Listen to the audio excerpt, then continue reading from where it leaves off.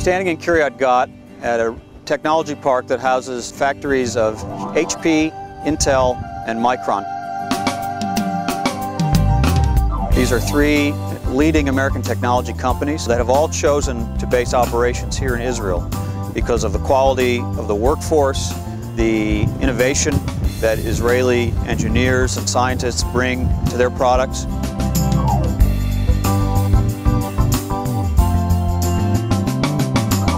This is what we call uh, the ROC room. ROC mm -hmm. is the remote operational center. Mm -hmm. From here we basically manage all the operations that are taking place in the fab itself. They're outstanding examples of the growing U.S.-Israel economic relationship. It's especially strong in the high-tech sector. About 10 years ago, the company in Israel was no more than uh, 200, 250 employees. Today, we are close to 6,000. We are just about a billion dollar business. This is the ink. that comes out from here, and each time it engages it transfers one separation. Basically, it is built out of four colors.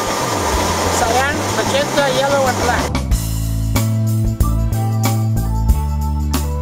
This is called a bay the production area. Well, how many products are you producing on a day or in a week? In 2010, our export was transfer price, yeah. 365 million. Okay, so it's a very complex operation and every mistake kills it. This is why discipline is critical.